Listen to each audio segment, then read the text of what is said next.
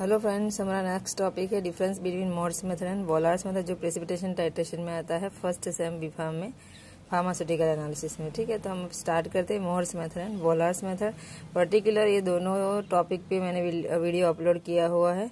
Link मैं description में दे दूँगी आपको। आज हम देखेंगे इन दोनों मेथड का डिफरेंस जो बहुत इंपॉर्टेंट क्वेश्चन है। पहले देखते हैं कि मोहर्स मेथड जो होती है, वो डायरेक्ट मेथड होती है और वोलर्स मेथड जो होती है, इनडायरेक्ट मेथड होती है, ठीक है?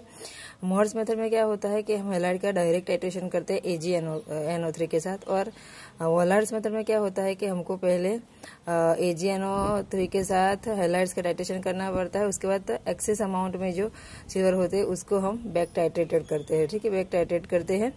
अमोनियम थायोसाइनाइड के साथ, ठीक है? तो यहाँ पे ये डायरेक्ट मेथड और इनडायरेक्ट मेथड या तो आप बैक टाइट्रेशन मेथड भी बोल सकते हो।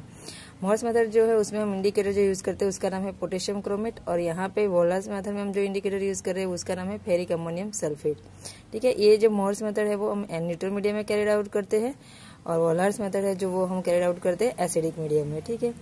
मोहर्स मेथड में एंड पॉइंट में हमको रेड पीपीटी मिलेंगे सोडियम सिल्वर क्रोमेट के, और वोलर्स मेथड में हमको रेडी शेरो सोल्यूशन मिलेगा।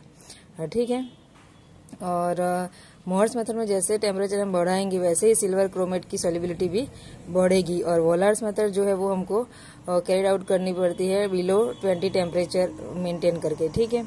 और वोरा मोहर्स मेथड जो होती है वो हम क्लोराइड और ब्रोमाइड का डिटर्मिनेशन के लिए यूज़ करते हैं। आयोडाइड का डिटर्मिनेशन इस मेथड से नहीं होता है, ठीक है? क्योंकि एंड पॉइंट की वजह से सेम कलर होने की वजह से हम इनका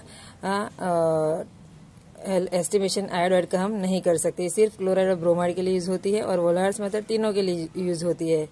तीनों हाइलाइट्स के लिए डिटर्मिनेशन के लिए यूज़ होती है, क्लोराइड, ब्रोमाइड एंड आयोडाइड, ठीक है? तो ये होगा डिफरेंस जो आपको पाँच मार्क्स में पूछा जा सकता है ठीक है?